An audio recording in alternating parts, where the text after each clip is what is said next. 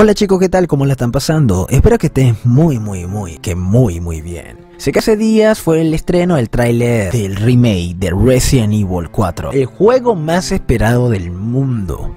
O mejor dicho, el juego más prostituido del mundo entero. Porque lo jugamos en el PlayStation 2, en el GameCube, en el Xbox, Xbox 360, PlayStation 3, Xbox One PlayStation 4 y PlayStation 5, computadora, calculadoras, en todos lados hemos jugado en Resident Evil 4. Hasta PlayStation 1 está disponible también por si te interesa. Falta que lo estrenen en el PlayStation. Ahí sí completamos todas las adaptaciones. Ok, bueno, para empezar, Resident Evil 4 Remake es una jugada peligrosa, ya que puede o ser muy bueno o puede ser muy muy malo. Resident Evil 4 es un juego que ha estado, digamos, a una altura tal de que se podría considerar casi un juego perfecto. Pero digo casi porque obviamente hay fallos que no lo hacen perfecto del todo. Es un juego que te combina con acción, con suspenso, con miedo, y factor terror que mantiene un poco la esencia del juego como tal y que también tuvo mecánicas y dinámicas de juego que revolucionaron y plantearon otros modos de juegos y que tuvo un salto muy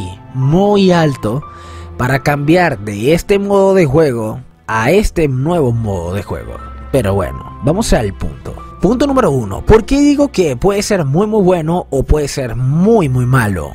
Puede ser muy muy malo porque a diferencia de Resident Evil 3, de digamos esta payasada, porque lo que hicieron con Nemesis en el remake de Resident Evil 3 fue algo completamente patético. Transformarlo en un monstruo que parece el enemigo de Hulk, Abominación, fue algo bastante tonto, sinceramente. Alterar ese, esa esencia y creo que eso es el punto en el que más la gente se molestó. Y además de otros tantos punticos que no le gustó tanto a los jugadores. Es un poco complicado porque los que están encargados de ahorita Resident Evil 4 tienen la vara muy alta porque van a tocar uno de sus títulos más delicados de toda la saga. Porque es un juego recontramado y donde muchísimas personas aún lo siguen jugando. Y se acaba de confirmar que el equipo que desarrolló el remake de Resident Evil 3 ya no está a cargo. Ahora está a cargo el equipo que desarrolló Resident Evil 2 Remake que en cierta parte es una buena noticia, ya que el 2 fue muchísimo mejor que el 3. Entonces, ¿se necesitaba un remake de Resident Evil 4? En parte sí. ¿Por qué? Porque tuvo muchos agujeros argumentales y en un breve momento vamos a fondo de ello. ¿Y por qué también es un riesgo que no se debería de hacer? Primero porque hay otros títulos que deberían de haberse tenido un remake antes, muchísimo antes de este Resident Evil 4. Ejemplo, Resident Evil Código Verónica, Resident Evil Outbreak 1 y 2, Resident Evil Zero, Resident Evil Umbrella Chronicles, entre otros. Títulos que por más que sean spin-off o parte externa del canon, fueron títulos muy buenos y que bueno, que también, que también brillaron en su momento. Entiendo y es lógico que todos esperamos un buen remake. Y obvio lo más importante es que el título dé miedo, como lo hizo el 4. Ok, el juego original tenía acción. Cuando yo estaba pequeño, vi a un primo jugar Resident Evil 4 y hubo una parte exacta que a mí me llenó de tanto miedo que no quise jugar el título. Y a raíz de eso, tuve un pequeño, un pequeño digamos, toque mental del cual me dan un poco, un poquito así de pánico las motosierras. Y fue el primer enfrentamiento con el Doctor Salvador. Esa escena donde mi primo estaba jugando y no podía vencer al hombre con la motosierra por más que le tiraba granadas, que le disparaba. El ambiente, la música, todo fue una mezcla total marcó un punto y aparte en mi vida después de haber visto esa escena. Te podrás imaginar cuando yo estaba pasando el título yo solo por mí mismo y me llegó a tocar a esa parte. Creo que al sol de hoy todavía le tengo un poquito de pavor porque de verdad esa escena es impactante. La gente dice que van a cambiar, que le van a quitar la magia, la esencia Resident Evil, pero realmente no creo que sea así. Seamos cuerdos, sería aburrido que retrataran el juego tal cual, porque ya no sería un remake, sería una remasterización de las miles de millones que ya hemos visto anteriormente, que lo han remasterizado, que lo han remasterizado y lo han vuelto a remasterizar. Pero lo que el equipo desarrollador inteligentemente podría hacer es poner la historia tal cual como es, pero en vez de hacer cambios, cubrir los huecos argumentales o llenar espacios vacíos y aclarar dudas que todos los que jugamos el título tenemos. Por ejemplo, dudas como ¿será que el mercader es el abuelo de Luis Cera? El mercader estaba infectado, ya que presenciamos que en el día tenía los ojos de un color y en la noche tenía los ojos de otro color. Pero cuando teníamos el cañón láser que lo apuntábamos, que detectaba el parásito en cada uno de los cuerpos y destruía cada parásito, cuando lo apuntábamos, este no señalaba o no se activaba o no hacía daño al bonero cuando lo señalábamos. Entonces existe esa duda. ¿Cómo se crearon o existen los novistadores?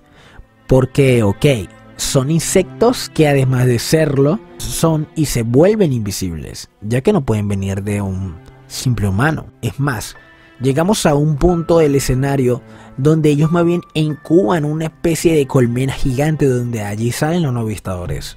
Otra pregunta, ¿cómo las estatuas se mueven? Me refiero a las estatuas con armaduras, que se mueven por sí solas, porque si hablamos de que son zombies vestidos con las armaduras, desde hace mucho tiempo se deberían de mover, no quedarse completamente estática como manteniendo conciencia o inteligencia de mantenerse completamente firmes salvo hasta llegar al punto de que tengan que moverse para poder perseguir a Ashley. Porque Leon va prácticamente solo a una misión suicida siendo la hija del presidente. Otra de las dudas es, ¿cómo escaparía el mercader de la isla si esta explotó? Otra pregunta, ¿de dónde vienen los gigantes? ¿De dónde proviene el monstruo del lago? Y una de las preguntas más grandes en el mundo de los gamers, ¿qué rayos hay en la bolsa que se mueve en la cárcel donde están los regeneradores? Y la pregunta del millón, exactamente por qué no hay niños en el pueblo. ¿Por qué no hay niños? Algunos dicen que se le inyectó el virus, pero estos por ser cuerpos pequeños no soportaron el virus y terminaron muriendo. Pero si vemos algunas adaptaciones cinematográficas de Resident Evil, podemos ver de que hay niños que también son zombies. Entonces, ¿por qué no existen niños en el pueblo de Resident Evil 4? Además de aclararnos esas dudas, el juego debería envasarse también en profundizar un poco más esos espacios que quedaron un poquito vacíos, que sería muy bueno llevarlo a la luz y aprovechar todo ese material y traérnoslos en este nuevo remake. Este es el motivo por el cual valdría la pena o se necesita un remake de Resident Evil 4.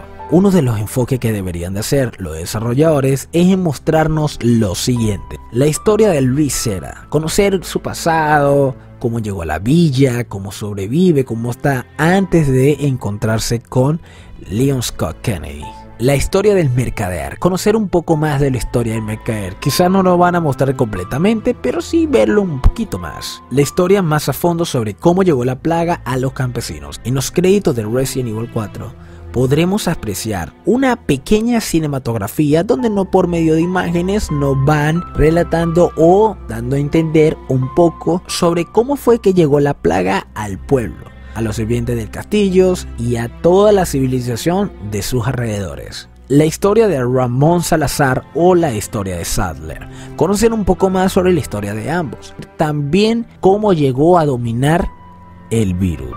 De la historia a fondo sabemos que el virus fue extraído de las minas. Es un poco raro porque en el mundo de Resident Evil el virus fue creado en un laboratorio, no extraído de las minas. Habría que ser aclarado un poquito más esas dudas. La historia de Krauser, donde podríamos ver un poquito más a Krauser con Leon, de cómo eran compañeros, luego que se volvieron enemigos y bla bla bla.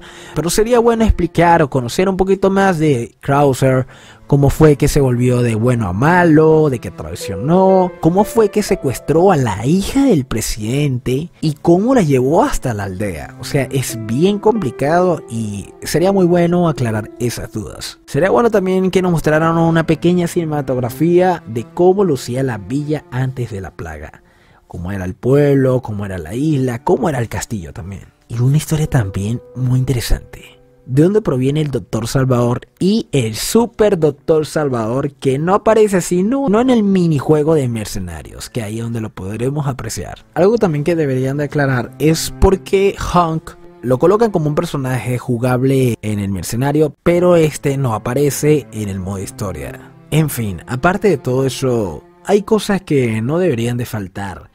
Ejemplo, los monjes, los novistadores, Doctor Salvador, el Garrador, los lobos, Iron Maiden, los regeneradores, la estatua gigante persiguiéndote, los gigantes, las estatuas y cosas también muy importantes que deberían de conservar para no perder la esencia. Las misiones con Ada, el modo de juego con Ashley Indefensa, el monstruo del lago y los mercenarios. También deberían de incluir a Honk. Bueno, no sé, es mi personaje favorito, así que bueno, entiéndame. Bueno, esperemos que este remake llene todas nuestras expectativas nos dé una satisfacción increíble y que nos la pasemos espectacular. Me gusta que en el tráiler haya respetado muchas de las cosas del título original. Por ejemplo, la apariencia de Leon, la chaqueta, cómo llegó al pueblo, la vestimenta de Ashley, eh, la apariencia de todos los demás. De verdad se ve espectacular. Me encanta y le doy un aplauso también por la musicalidad tipo española que le colocaron. Espero te haya gustado el video, dale like, suscríbete, a la campanita, comparte el video con algún amigo tuyo que quizás le interese mi contenido y bueno, nos vemos hasta pronto. Muchísimas gracias por llegar hasta esta parte del video. See you soon.